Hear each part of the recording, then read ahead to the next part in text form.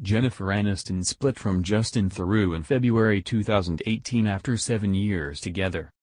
And now the Dumplin' actress is finally ready to get back into the dating world, according to Life and Style magazine. The blonde Emmy winner hopes to have a new love in her life before her 50th birthday, which falls on February 11.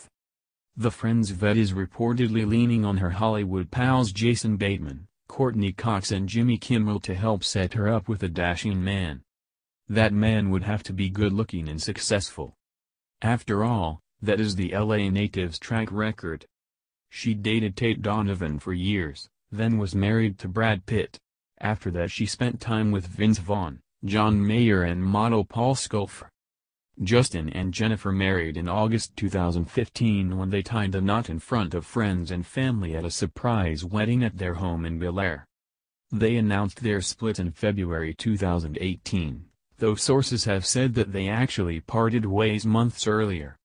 The Life and Style source also said Jennifer would not mind a fellow in her life before the Academy Awards. It is not known yet if she will attend the Oscars, but if she does she wants a hunky man by her side.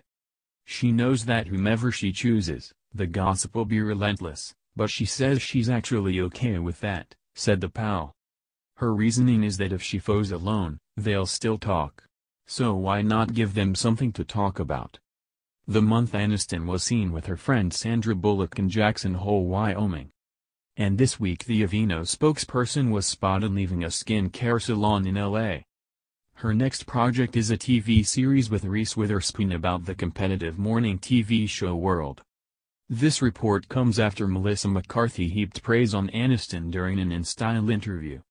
I love that Jennifer Aniston, that little nugget, she said. That's a person to the soles of her feet. Just solid, good,